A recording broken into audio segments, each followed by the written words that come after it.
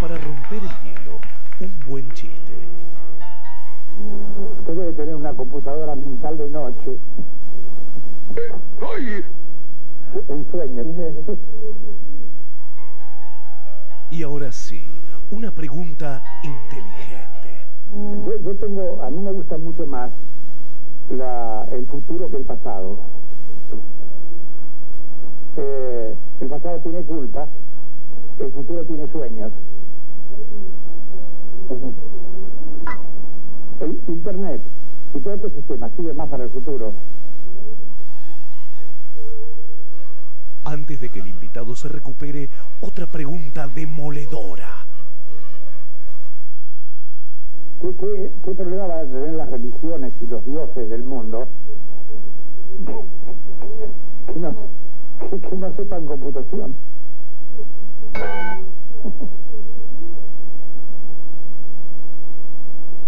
I'm, I'm sorry. Si el invitado es lento, vale una aclaración. Para averiguar cómo nació el hombre, cómo empezó, a qué Dios tiene que honrar. ¿Cómo me gusta hacerlo pensar? ¿Hay al momento del día que usted no piense? Cuando acepté esta entrevista.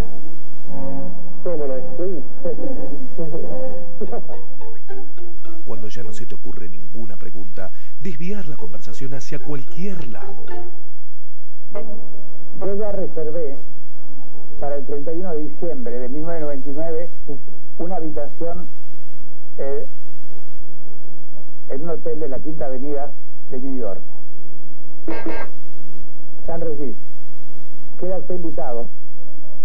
No voy a hacer fiesta.